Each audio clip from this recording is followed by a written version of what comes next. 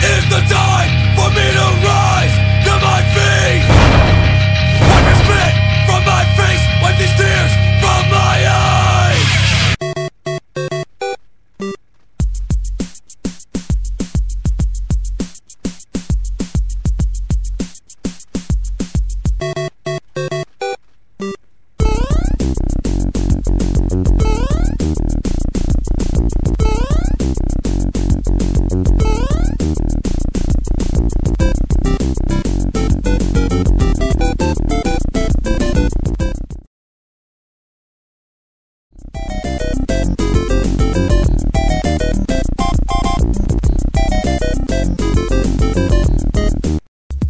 Thank you.